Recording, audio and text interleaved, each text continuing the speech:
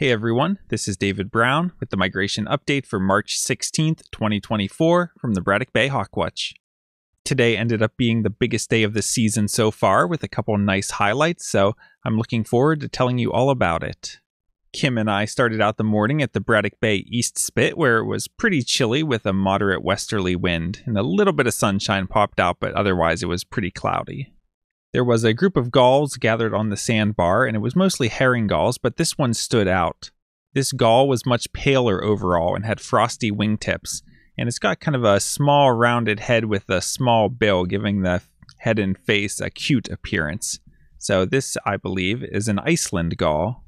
And if we do an open wing comparison, you see the herring gull here in the front. It has a lot of black here in the primaries and then a paler patch in the inner primaries and then more dark color throughout the secondaries. Compare that to the Iceland gull, which is just much more pale overall. Some darkness to the outer primaries, but a much whiter wing than we see on the herring gull.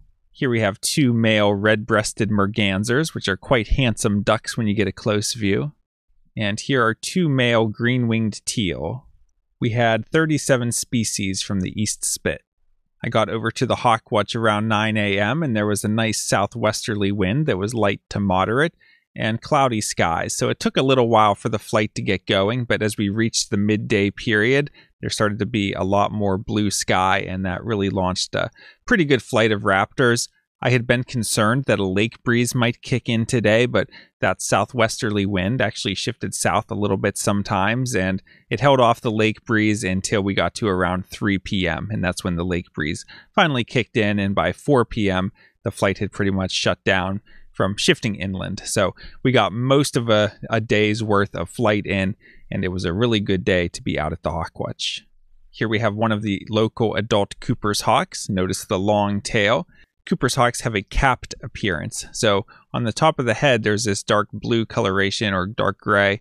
And then the actual nape, which is the back of the neck, is paler. Whereas on an adult sharp shinned hawk, this color on the top of the head would run all the way down onto the back. So when you see that pale nape, we know that it's an adult Cooper's hawk. Here's another accipiter, but this one was small with really quick wing beats. We see a more squared off tail tip because all of the tail feathers are the same length. And we see some streaking here on the underside, but it's not a brown teardrop streaking like we see on the Cooper's hawks. It's a little messier looking. This is an immature sharp-shinned hawk. Here we see a bird with a two-toned underside, relatively long tail, and a very small head. This is a turkey vulture, and we had a good flight of turkey vultures today. We had a total of 321 that migrated, so turkey vulture numbers are starting to pick up. I saw the Presque Isle Hawkwatch in Erie, PA, had over a thousand turkey vultures today. So as we get into the next two weeks, we're really entering peak turkey vulture migration. Double crested cormorant sightings are becoming more frequent, and we saw a couple small groups throughout the day. Here we have a flock of migrating tundra swans, and when I first arrived at Braddock Bay Park today, there was a field trip gathering from the Rochester Birding Association, and they were all over by the buildings and looking out towards where the Eurasian widgeon has been seen. And while everyone was scoping the water, at some points there was some discussion that there were some tundra swans on the water. And I looked and I saw these three swans with black bills. Well, later someone from the other side of the bay reported that they had three trumpeter swans fly over. So all day I've kind of been kicking myself for not looking more closely at those three swans in the morning to see if they were tundra swans or trumpeter swans. So I don't know if those were the trumpeter swans or not, but sometimes it's just really annoying that you might have just missed a bird because you weren't looking carefully enough. Here we have a large, dark migrating raptor with a lot of white here in the wing pit area. This is a juvenile bald eagle. Here we have a somewhat small plain bird with a black and yellow face. This is a horned lark. And this was a cool sighting. Here we have a group of six birds. These were large corvids with deep croaking calls. This is a group of six common ravens. And it's not unusual for us to see a raven or two, maybe three sometimes, but getting up to six is more than we usually see. Here we see a hawk that looks like a flying cross. We see a very long tail, relatively large head, and long wings that are held straight with rounded wingtips. So this is an accipiter, and this is a Cooper's hawk. And we look at the underside and we see some brown teardrop streaking concentrated on the upper breast. This is a juvenile Cooper's hawk. Also notice the somewhat rounded tip to the tail because the outer tail feathers are a bit shorter than the central ones. Here we have an adult bald eagle, and this one's in a glide posture, so you see how it tucks those wingtips back.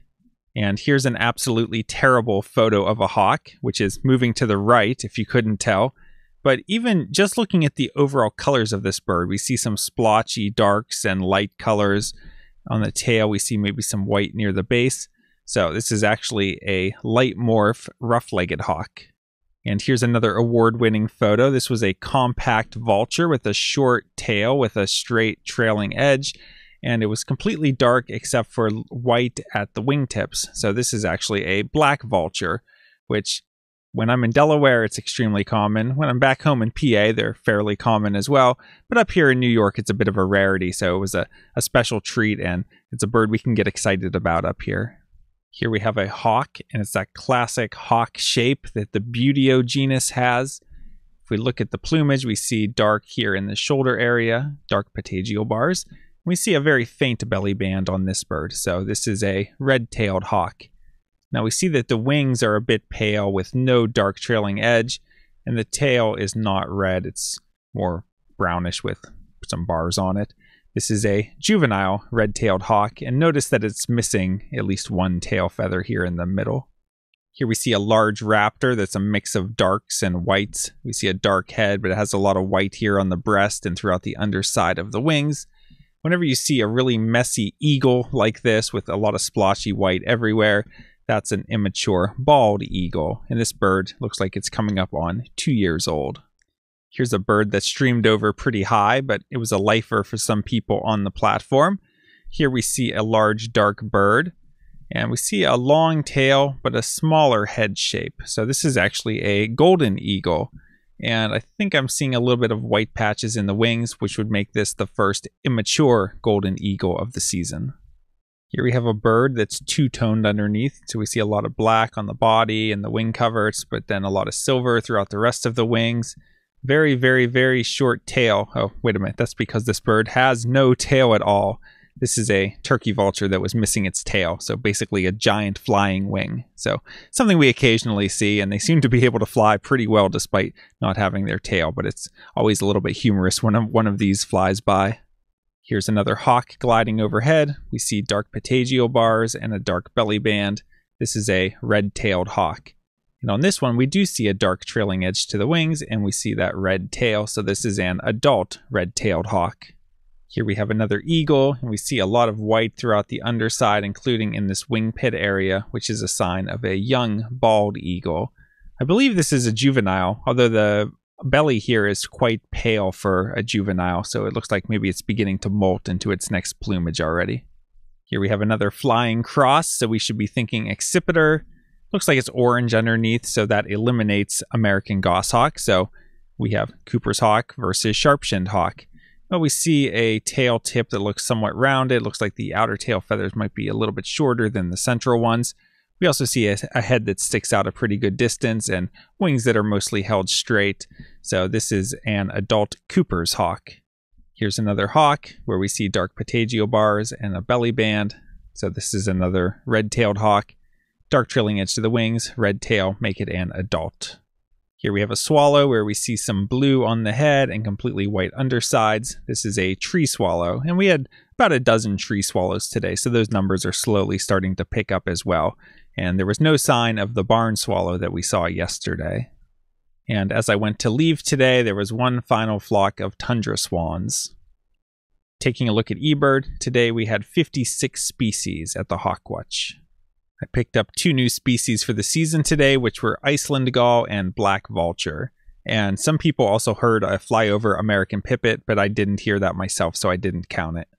And taking a look at hawk count for our migrant raptor totals for today, we had one black vulture, 321 turkey vultures, 30 bald eagles, three northern harriers, two sharp-shinned hawks, five Cooper's hawks, for Buteos, we had 49 red-shouldered hawks, 78 red-tailed hawks, and one rough-legged hawk. We had one golden eagle and two American kestrels for a total of 493 migrating raptors today. That brings the March total to 1,325 and the season total to 1,483. And taking a look at the forecast for tomorrow, maybe a little bit of sunshine in the morning and then cloudier into the afternoon. Winds are going to be from the west, moderate to strong, and strengthening into the afternoon. So I'm thinking we'll get a bit of migration tomorrow, especially looking at how many turkey vultures went through PA today. Um, turkey vultures should be able to push through on these winds unless they get really, really strong in the afternoon. So I'm thinking that tomorrow we'll get a, a bit of a flight. There's no southerly component to the wind, but westerly winds can be okay for us. Um, but if you come out, be sure to bundle up. It's going to feel pretty chilly with those strong winds and maybe be a little bit uncomfortable on the platform as the wind uh, knocks us around a little bit. For Monday, it's looking cloudy with some snow showers possible, high only around 40, and again, moderate to strong westerly winds, 15 to 25 miles per hour. So expect light to moderate migration. And for Tuesday, looking like cloudy skies with snow showers, high of only 36, and again, westerly winds at 10 to 20 miles per hour. So, a couple days of westerly winds coming up. They can be okay winds, but they're going to be on the stronger side with colder temperatures. So, we've been spoiled with the warm temperatures. Now it's back to winter a little bit. All right. Well, the winds cooperated today, and we ended up with a pretty good day of hawk watching, and we had a pretty good crowd of people come out to the platform. So I hope you can join us soon as well for a day of hawk watching at the Braddock Bay Hawk Watch. If you like this video, be sure to hit the like button and subscribe so you don't miss any of these daily updates. From Lyco Birds, this is David Brown. Thanks for watching.